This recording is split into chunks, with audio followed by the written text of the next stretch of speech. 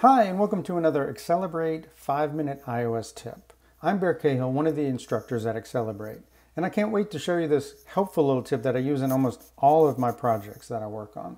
So I've got a simple app here, and I've just got a start button. And when I tap this, it starts a timer as if it were going out to the server or something, and then three seconds later it prints done.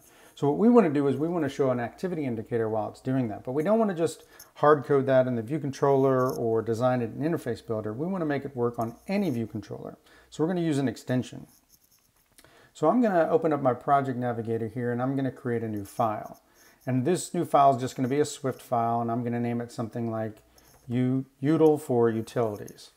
And I'm going to create an extension here. So I'm going to close these other panes and I'm going to import UIKit.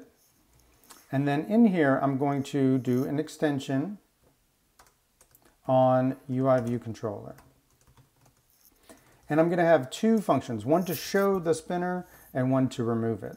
Uh, extensions can't add anything to the footprint of a, of a class, so I'm going to create a variable called a view here, and this is going to be for the activity view, and it's going to be a UI view, and it's going to be an optional. You can make this file private if you want so nobody else can access it.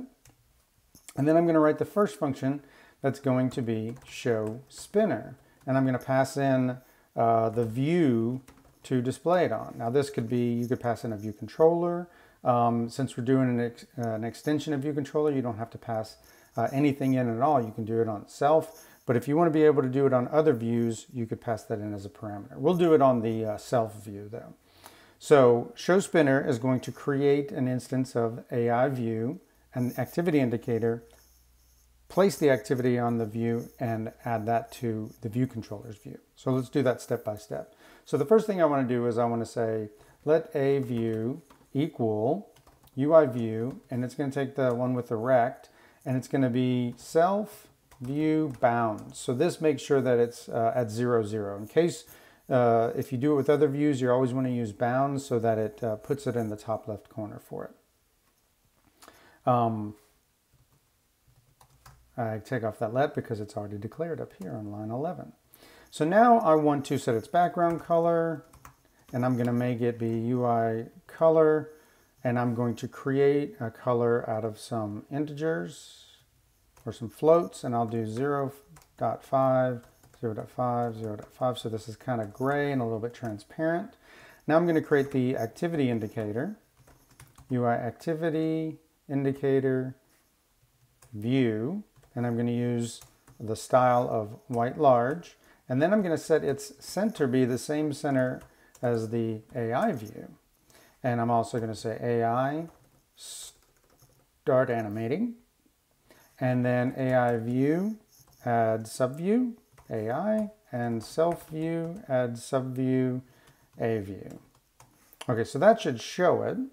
So if we uh, go back in our code, okay, so we did create it, we can unwrap it there, and we can also unwrap this here, because we know that it, all of these were created. Um, so if I go back to my view controller, and in here I can say self show spinner. And now when I run it, it'll show the spinner when I tap the button, but it never removes it. Um, and I also, I think I put it in the timer. So after three seconds, is it going to show it? It should show it before.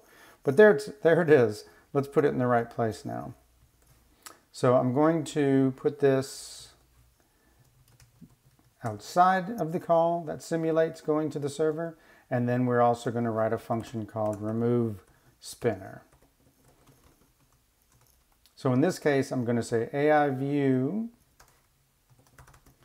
remove from, let me bring that up. So remove spinner is going to get the AI view. This has to be a static function also. And remove from super view. I don't know why it's not giving me. Oh, that's right. This is not a static. What was I thinking? But the AI view is a static. So remove from super view. See what the problem is here. Oh, it's a view. That's right.